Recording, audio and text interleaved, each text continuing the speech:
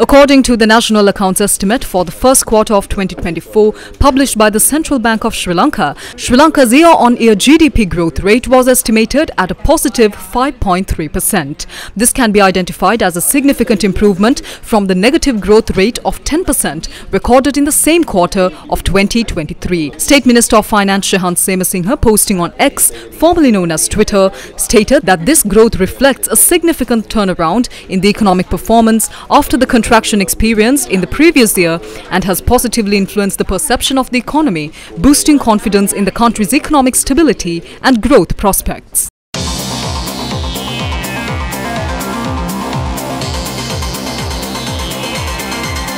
The News First Finance Report.